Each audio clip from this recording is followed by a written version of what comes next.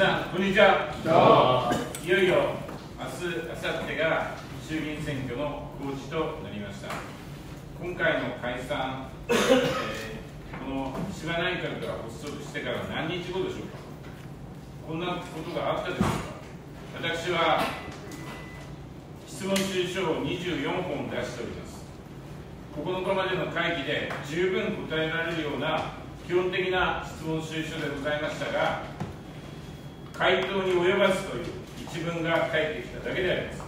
その中には佐賀県の農業あるいは有明海オスプレイ基地そして災害対策佐賀県に密接に影響するものもただございます。外交安全保障の基本姿勢そして私たちがこの教育今日本はものすごい勢いで衰退をしています。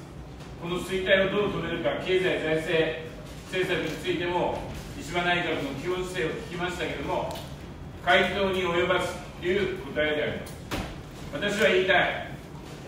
内閣を組織するに及ばずということを言いたいと思います。今回の解散何を問うんでしょうか。裏金でしょうか。裏金を返せ。裏金をポケットに入れていいか。返せ。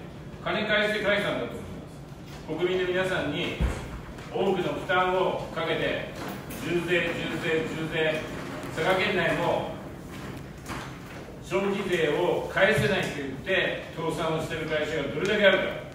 そして日々の暮らしを今日もですね倒れてる。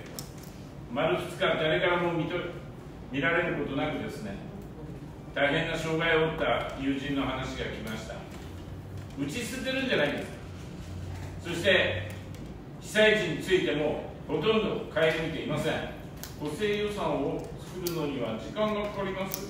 冗談に言ってんじゃありません。1月1日ですよ。発災は。補正はいつでも作れたはずです。しかし自分らの権力争いに巻かれてですね。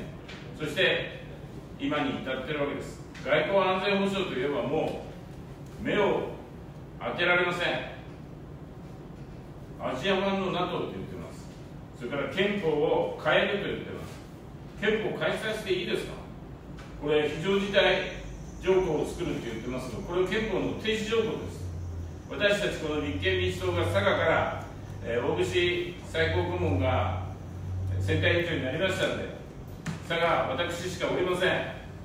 彼の分も皆さん結束してそしてこの佐賀の立憲民主党が日本を変えたそしてこの10月27日には日本はあそこで変わったんだ。あそこで変わったんだ。あの誇り高い日があったから日本今の日本があるんだと。そう言われるような日にしていきたいというふうに思います。皆さんのご奮闘に心からお礼を申し上げて、えー、冒頭の挨拶に変えます。記念すべき今日が50回目の常任幹事会です。皆さん本当にありがとうございます。佐賀から。日本を立て直していきましょう。ありがとうございます。